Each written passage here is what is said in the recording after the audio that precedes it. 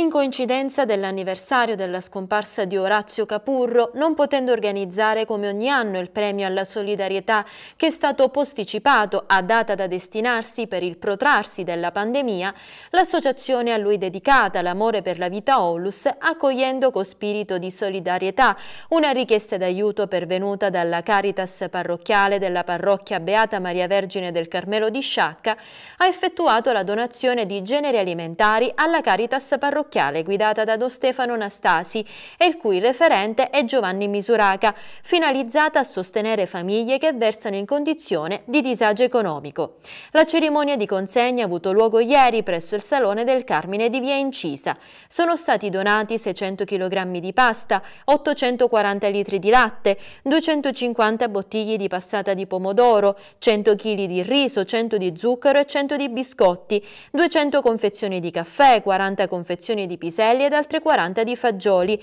150 lattine di tonno e 90 barattoli di omogeneizzati.